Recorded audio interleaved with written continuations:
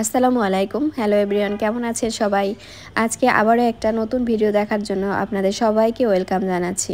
আশা করছি আজকের ভিডিওটাও আপনাদের কাছে অনেক ভালো লাগবে। থাকছে রাতের খাবার আর তার সাথে থাকছে মর্নিং আনলিমিটেড খাবার। সব কিছু মিলিয়ে থাকছে আজকের ভিডিওটা এখন জাস্ট সন্ধ্যা মুহূর্ত আর এই মুহূর্তেই মনে হচ্ছে যেন অনেক রাত হয়ে গেছে। কেমন একটা ভয়ানক পরিবেশ মনে হচ্ছে। কিন্তু তারপরও ভালো লাগে কারণ লাইটিং রয়েছে সারা জায়গায়। আর লোকজন তো আছেই মাঝে মাঝে। সাইরো রিসোর্টের পরিবেশটা ঠিক এমনই রাতের বেলায়। আমি আজকে সাইরো রিসোর্টের শেষ ভিডিওটা আপনাদের মাঝে উপস্থাপন করলাম। বান্দরবনের সাইরো রিসোর্ট একটা বিলাসবহুল রিসোর্ট, যেখানে আসতে হলে আগে থেকেই বুকিং করতে হয়। Bamboo chicken. এই ব্যাম্বো চিকেনটা মোটামুটি সবার কাছেই এখন পরিচিত। পাহাড়ি অঞ্চল যেমন বান্দরবন, খাগড়াছড়ি কিংবা সাজেক। এইসব জায়গায় গেলে এই ব্যাম্বো চিকেন অ্যাভেলেবেল দেখা যায়। ওদের একটা ট্রেডিশনাল খাবার বলতে পারেন। ব্যাম্বো চিকেনের খাবারটা বেশ অনেকটা পরিমাণ থাকে। আপনি খেয়েও দেখা যায় থেকে যাবে, এরকম পরিমাণে থাকে। সাথে ছিল বাতাবি রাইস, আর সেটা তৈরি হয়েছে কর্ন, বাটার, বিন দিয়ে। রাইসটা জাস্ট অসাম লেগেছিল খেতে। একটুখানি রাতের ভিউটা দেখিয়ে দিচ্ছি এখানকার। দেখুন বাসের মাঝখানে মাঝখানে লাইটগুলো এমনভাবে রেখে মনে হচ্ছে যেন আকাশের তারা ঝলমল করছে। চলে আসলাম সকালের ভিডিওতে, যেখানে আনলিমিটেড খাবার আর লিমিটেড টাইম।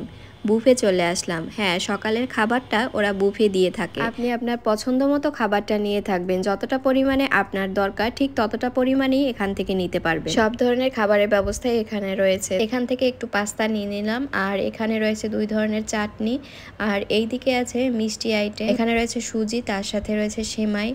তো আমি এখান থেকে আবার একটু নিয়ে নিচ্ছি। মানুষের সবসময় চোখের দোষটা একটু বেশিই থাকে। মানুষে বলে না, চোখের দোষ বেশি, তো সেই অবস্থা। কারণ চোখে যা দেখে সেইটাই খেতে মন চায়। পরে যখন নেওয়া হয় প্লেটে, খাবার নিয়ে যখন বসা হয় টেবিলে, তখন আর খেতে ইচ্ছে হয় না। তো এইখান থেকে আমি আমার পরিমাণ মতো নিয়ে নিলাম আর আপাও আপার পরিমাণ মতো নিয়ে নিল। এবার একটা টেবিলে বসে পড়লাম। আমরা একটু শেষের দিকে আসছিলাম সেই জন্য অতটা ভিড় ছিল না। নয়তো সকাল সকাল আরও অনেক ভিড় থাকে এইখানে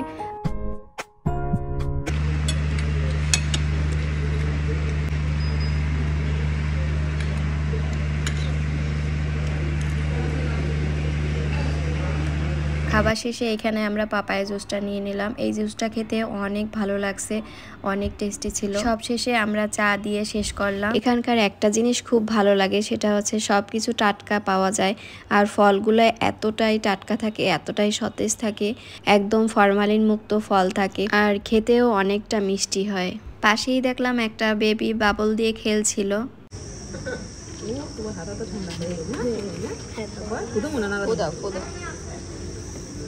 হয়নি হয়নি হয়নি হয়নি।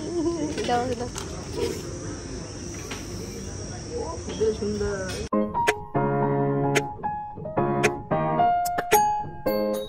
এইগুলো রয়েছে পাহাড়িদের পুরনো কিছু জিনিস, তো এগুলো সুন্দর করে সাজিয়ে রেখে দিয়েছে।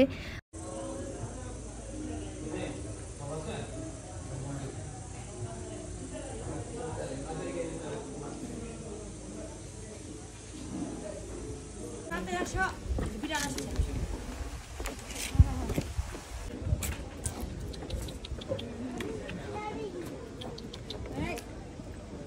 ওখান থেকে খাওয়া দাওয়া শেষ করে সোজা রুমে চলে আসলাম আর রুমে আসার পরে আবার একবার সুইমিং পুলে আসলাম। বাট সুইমিং পুলে এখানে সময়টা শেষ হয়ে গেছে। এবার এখান থেকে বিদায় নেবার পালা। সব ব্যাগ ট্যাগ প্যাকিং করা হয়ে গিয়েছে। এখন ব্যাগগুলো নিতে আসবে ওরা। ওরা গাড়ি পার্কিং করে ব্যাগগুলো দিয়ে আসে। এইটা খুব ভালো লাগে আমাদেরকে কষ্ট করে ব্যাগগুলো আর নামানো লাগল না। কারণ অনেক উপর থেকে নিচে নামাতে অনেক কষ্ট হয়। ওদের এই গাড়িতে করে উপরে উঠিয়ে দিয়ে আসে আবার গাড়িতে করে নামিয়ে দিয়ে আসে। এইটা অনেক ভালো লাগছে। তো ব্যাগগুলো নেওয়া দেখে আমি আর আপা বলতেছিলাম, যদি আমাদেরকেও একটু এভাবে নামিয়ে দিয়ে আসতো তাহলে খুব ভালো হতো। কারণ এত উপর থেকে নামা, আবার ওঠা অনেক কষ্টকর। কিন্তু এই গাড়িগুলো শুধু ব্যাগের জন্যই করা হয়েছে, ব্যাগ ওঠা নামা করানোর জন্যই। তো ভিওয়ার্স আপনাদের কাছে এই ভিডিওটা যদি একটু হলেও ভালো লাগে, ভিডিওটা লাইক, কমেন্ট করবেন বেশি বেশি করে আর শেয়ার করে দিবেন। নেক্সটে আরও ভালো ভালো ভিডিও আপনাদের মাঝে উপহার দেবো ইনশাআল্লাহ। ভালো থাকবেন সবাই, সুস্থ থাকবেন। আগামীতে আরও ভিডিও নিয়ে আসব, কথা হবে তখন। আল্লাহ হাফেজ।